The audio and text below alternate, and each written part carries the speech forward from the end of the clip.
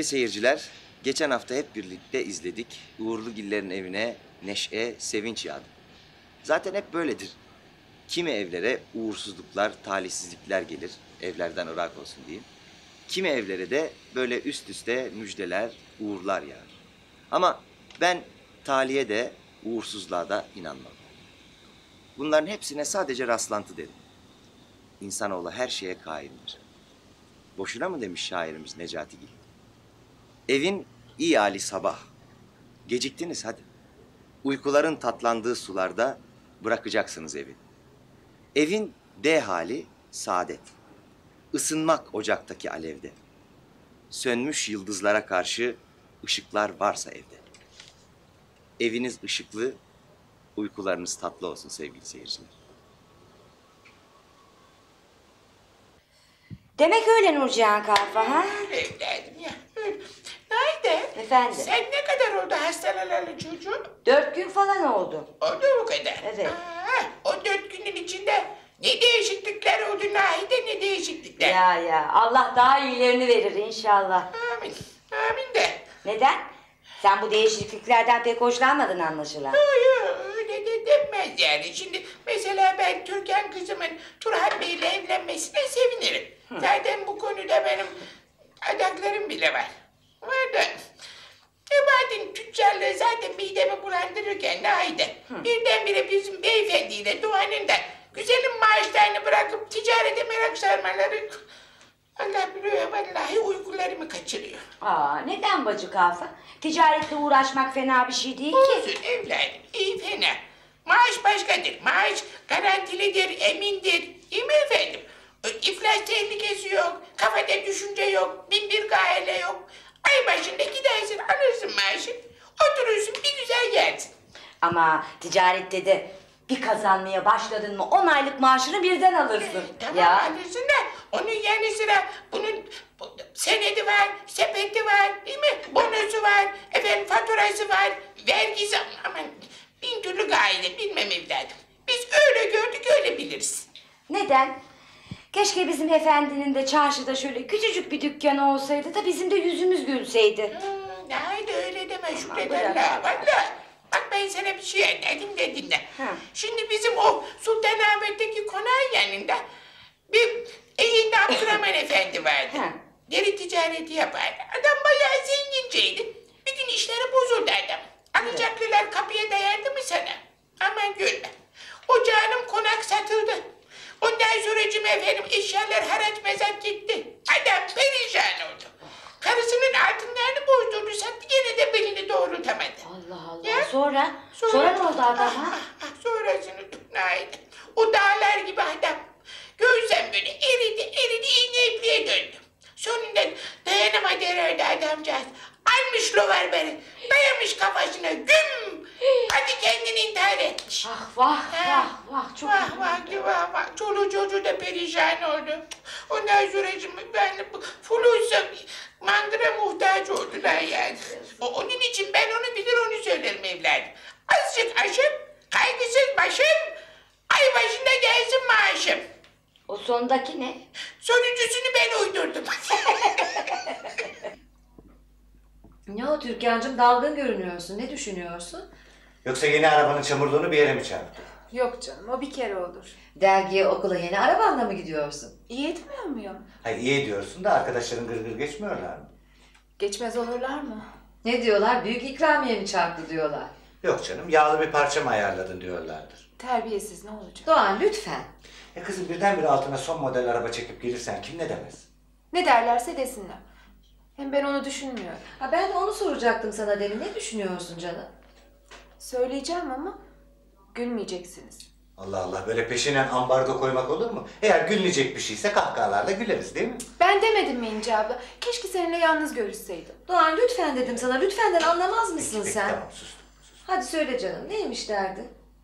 Pazar günü Turan'la ablası bize yemeğe gelecekler ya. Ee, Ama biz onların çiftliğine gittik gördük. ne olmuş gördükse? Yani ne bileyim bizim evimiz, eşyalarımız falan. Ha, ha anladım. Sen evimizden utanıyorsun ha? Çok ayıp Türkan. Sana hiç yakıştıramadım. Yani Turan Bey bizim durumumuzu bilmiyor mu? Biliyor. Yoksa Silivri'de gördüğü yazdığı da bizim mi zannetti ha? Yok canım söyledim tabii. Bak Türkan'cığım, Turhan Bey seni olduğun gibi kabul edecekse ne ala. Yoksa evini, eşyalarını, yemek takımlarını beğenmeyecekse çekiver kuyruğunu. Hem de şimdiden, yol yakınken. Uğurlu giller neyse odur. Gövdesi etli, şişkin ve normal olarak dik duran, her zaman yeşil ağaçlı bitkilerdendir. Resimleri de var ama hepsi birbirine benziyor bunların ya. Nasıl ayıracağım ben bunları? Ya Salim, kendi kendine mi konuşuyorsun Canika? Valla Nebahat'cığım bu başlı başına bir ilim ya. Şu kırmızımsı yaprakların kaladyum, şu beyaz çizgilerin ise afelandra olduğunu biliyor muydun? E onlar Latince adları ama sen onlara bakma. E neye bakacağım? Şuraya bak. Kreton, dresin, peperonya, maranta. Allah Allah, peki bunların Türkçe adları yok mu Caniko? Ben tanıya tanıya bir tek paşa kılıcını, kauçuğu bir de deve tabanını tanıyabildim. Neden? Al işte bak, bu bildiğimiz Açelya, bu Nergis, bu, bu, bu, bu Sümbül, aslında bu da Lale. Onları ben de biliyorum canım. Bak, şu da aspidistreymiş. Biliyor muydun? Aspidistra, ne bileyim ben bildiğimiz salon çiçeğine benziyor o.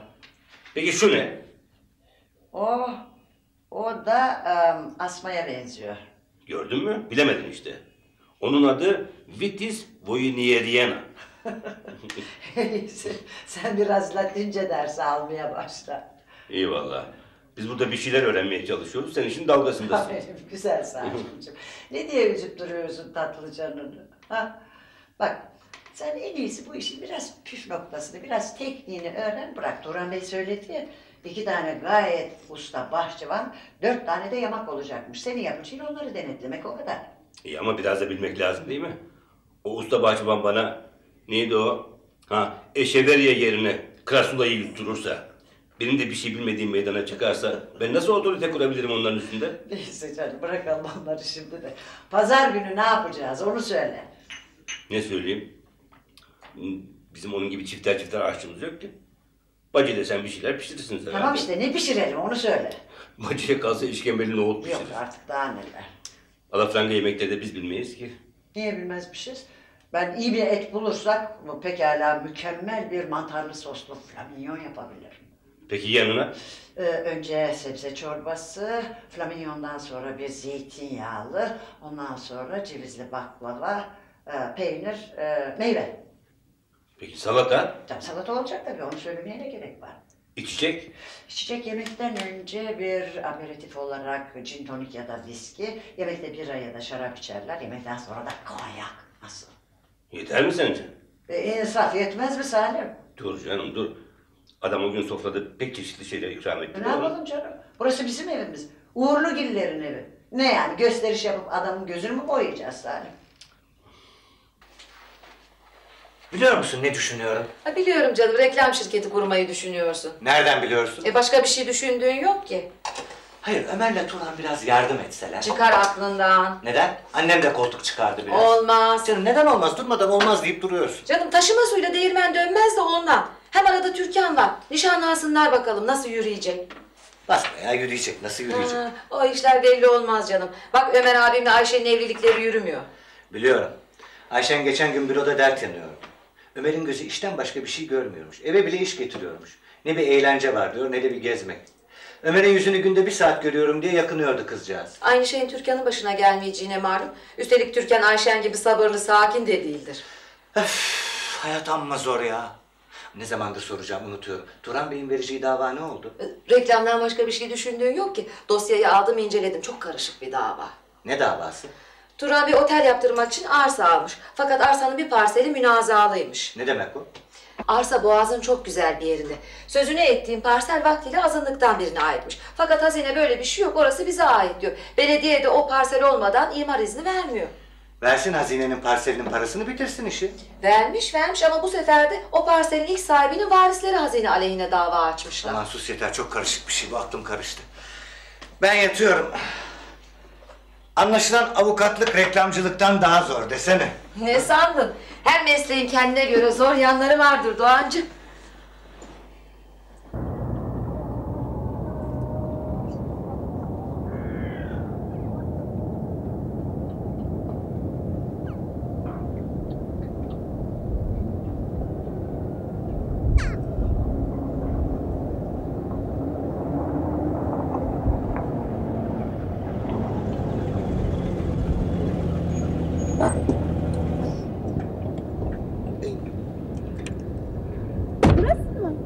Nasıl buldun?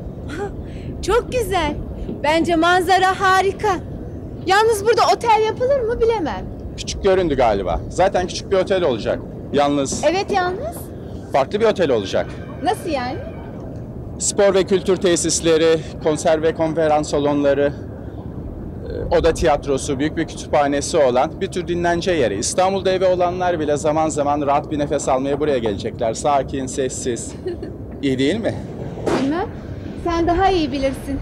Yo. Sen de fikrini söyleyeceksin. İşlerim ayrı kalmanı istemem. Peki o zaman. Bence fikir çok güzel. Yani eğlenme merkezi değil de kültür merkezi olacak öyle mi?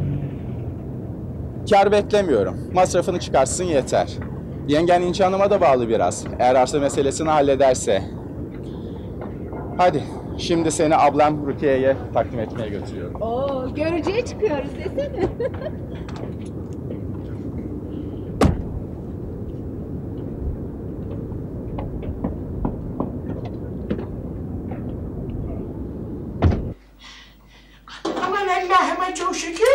bugünlerde gösterdim. Vallahi Allah biliyor ne var. Bu kız evde kalacak diye ödüm kopuyordu. Eh boşuna korkmuşsun demek ki dedeciğim. Allah sonlarını hayır eder inşallah. Ne yapayım? Ne o pek haklı söyledi. Öyle deme ne bacım. Bu gözler bu evde şimdiye kadar ne düğünler ne rozalar ne... Evet. Ne de evlerden olarak cenazeler gördüm. Ya Ama söylemek istediğim o değil benim aslında. Bak ne var şaşırma ama bana ne zaman bir düğün değnek koysa hemen aklıma bu keçi sakallı geliyor burnumun direği sızıyor. Ne hayırsız çıktı değil mi kız? Aman be dadacığım sen de unutamadın gittin onu. Unut artık unut. E unut. aşk olsun sen söylemene ben nasıl unutayım kız? Aa, içim sızlıyor benim o benim ilk göz ağrım. Ah canım yalnız ilk göz ağrım son göz ağrımda. O da doğru yani. İlk sonu hepsi oydu orası. Aa, et suyuna sebze çorbası da pek güzel olmuş. Oh eline sağlık. Vallahi senden bahse girerim. Turan Bey bir tabak daha isteyecektir. Eline sağlık caniko. Ne var? Ha canım. Burada ne pişiriyorsun sen evlerde? Mantar soslu flamingon. Ha, kim yiyecek onu? E biz yiyeceğiz işte hepimiz. Yani misafirler yiyecek E mi? tabii dadacığım asıl onlar için pişiriyorum zaten. Evet. Afiyet olsun. Bana bak bir şey soracağım. Bu bizim kızı şimdi Turan Bey'in ablası mı isteyecek? Hı hı. O bir sakıncası mı var? Yok sakıncası kakıncası yok. Tam tersine. Turan Bey çöpsüzüm. Bizim kız öyle kaynanayla kaynatayla uğraşmayacak. Neyse hadi dadacığım. Elimizi çabuk tutalım misafirler neredeyse gelirler. Gelirler. Aa, o kadar çabuk mu gelirler ne var? E, tabii. Ay, daha benim dünya kadar işim var evladım. Daha bu- boy abdesti alacağım, üstümü değiştireceğim. Nerede nerede? O yukarıda dadacığım zaten kahve ikramında, likör ikramında sofrada yardımcı olacak bize. İşte lüzumu yoktu aslında. Sen ben inci çıkardık işin içinden. Eh, Yelle çağırdınız. Hani yok mu ya? Bizim de yardımcımız var efendim. Aman ne Görün. münasebet dadacığım nereden çıkardın şimdi onu? Bu konularda biz Turan Bey'le aşık atabilir miyiz? Ay, aşığını kaşığını bilmem de bir münasebetlik yapacak diyordum konu. Yapmaz yapmaz. Geldiler. Geldiler. Sen Vallahi söylüyorsun geldiler. Geldiler ablacığım. Üç koca sepet çiçek, bir koca kutu çikolata, bir de büyük bir pastayla geldiler. Dur kız sen kutularda ne olduğunu nereden biliyorsun? Açtın mı yoksa? Aa ben bilirim. Yok bırak. Hadi ne var bırak sen onu. Sen çık bari yukarı hadi. Hadi evladım. Telaş etmeyin, telaş Sen bunu usul etmeyin. usul karıştır ya. Peki Hadi ben de gideyim de sırtıma bir şey getir. Doğan, Salim Bey amca hepsi yukarıdalar. Benim de çorban pişti zaten. İyi ben de yukarıdan inciyi gönderirim. O da güzel bir salata İyi yapar. olur. Ablacığım ne takacaklar acaba? Ne demek o? E takı falan takmayacaklar mı? Aman bu da takı diyor. Beni mi dinledi? Söz kesmede takı mı takılırmış? Ay görgüsüzden haberi. Ben çıkıyorum. Beş dakikada Hadi ben de hazırlanırım. geliyorum ben de. Ben kapattım artık merak etme. Olur. Evinizi çok beğendim. Ne güzel. Sakin, havadar, ağaçlık. Değil mi Turan? Evet. Müteahhitler nasıl görmemiş burasını? Görmez olur mu Turan Bey? Görmez olur mu? Az mı aşıttırdılar kapımızı? Nasıl Mohikanların sonuncusu varsa biz de evlerini yıkıcıların, betonarmecilerin elinden zor kurtaran son İstanbullulardanız galiba. Ne güzel. Bir gün gelecek İstanbul'da ağaca, çiçeğe, yeşile hasret kalacağız. Şu Yıldız Parkı, Emirgan Korusu, e, bazı konsoloslukların koruları da olmasa İstanbul baştan aşağı beton kesilecek. Ya efendim biliyorsunuz ben İzmir'deyim. İzmir de aynı akıbete uğradı. Turan Bey kalem satışları nasıl gidiyor? Yo, bugün pazar. İş konuşması yasak. Bir aperatif içer miydiniz? hay hay efendim. Biliyorum siz viski içersiniz. Hanımefendi siz? Ben bir likör alırım efendim. Bir dakika söyle. Aa, ben hemen söyleyeyim Nail babacığım. Nebahat Hanım Efendi ile bacağını mı göremiyoruz? Şimdi gelirler. Ne tam. Eskiden İstanbul'da hemen hemen her evde bir bacı kalfa bulunurdu. Ama gençler bunu bilmezler tabii. Çünkü onların da soyu tükendi. Dedim ya, biz son İstanbulluyuz. Hoş geldiniz, sefalar getirdiniz. Aa, Ablam Rukiye, Nebahat Ah Hanım efendi. hanımefendi hoş geldiniz. Biz tanışıyoruz. Hoş geldiniz efendim. Buyurun, buyurun. rica Bu benim ederim. için de çok büyük sürpriz oldu. Tesadüf denilen şey bu kadar oluyor demek. Hiç haberim yoktu. Nereden tanışıyorsunuz? Sana bahsetmiştim ya bir yerde tam istediğim gibi eski eşyalar bulup satın aldım diye. İşte o eşyaları bana hanımefendi sattı. Ya doğrusu şimdi biraz mahcup olmadığımı söylersem yalan olur. Neden hanımefendi? Onu hanımefendiye sorun. Verdiği fiyatı hemen kabul ettiler. Pazarlık bile etmediler. Gerek yoktu efendim. E, Ben eski eşya meraklısıyımdır. Eğer o parçalar bir başkasının elinde olsaydı sizin verdiğinizin üç misli fiyat verirler. Bir sürü pazarlıktan sonra ancak sizin verdiğiniz fiyata inerlerdi. Ticaret ayıp yoktur. Müşteriyi, tüketiciyi aldatmamak kaydıyla tabii. Hah, ben bakarım canım. Pardon. Olabilir. Alo. Ben Nebahat. Ah. Şahin Bey siz misiniz? Eyvah. Em, maalesef efendim. Ah, Hayır efendim görüşemeyiz. M- mümkün değil Şahin Bey. E, Şahin Bey misafirlerimiz var. Lütfen ısrar etmeyin. Bir başka zamana erteleseniz. Yarına mesela. Ö- öyle mi? Pe- peki dinliyorum dinliyorum buyurun. Ah. E, peki o zaman bu akşam daha geç bir saatte gelseniz. Dokuzdan sonra. Dokuzdan sonra. Peki efendim. Peki bekliyoruz. İyi akşamlar. Özür dilerim efendim. Bizim bitişikte Şahin Bey diye bir komşumuz var da böyle olmadık zamanlarda hep rahatsız eder. Gene ne istiyor? Evini bankaya satmaya razı olmuş canım. Affedersiniz, bu Şahin Bey bu yazda Silivri'de komşunuz değil miydi? Evet, o Şahin Bey bu. Turan onu çok iyi tanır. Tanımaz mıyım? Bacağım olmasa beni dövecekti az kalsın. Ne münasebet. Ben hatırladım hatırladım. Hay Allah. Burada da mı komşunuz? Evet, maalesef. Kim bu zat ben de tanıyor muyum? Hepiniz tanıdığınıza göre. Uzun hikaye ablacığım. Daha sonra anlatırım sana.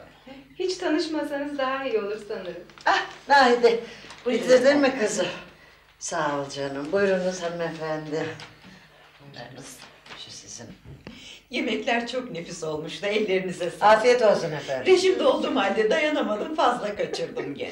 Afiyet olsun Bu efendim. usta eller kime ait acaba? Çorbayı dadım yaptı efendim. Evet evet. Tevazundan söylemiyorum hadi ben söyleyeyim öyleyse. Et yemeği ve tatlı Nebahat'e ait. Tamam da Nebahat yemek yapmayı kimden öğrendi bir de onu sorun hanımefendiciğim. Senden öğrendim tabii Dedeciğim. Ustam sensin. Bugüne kadar hiç inkar ettiğimi gördün Aferin. mü? Evladım Türkan'cığım götürür sade kahve hanımefendi. Ha, Şekerli annenin biliyorsun şeker diyeceksin Nebahat'e ver.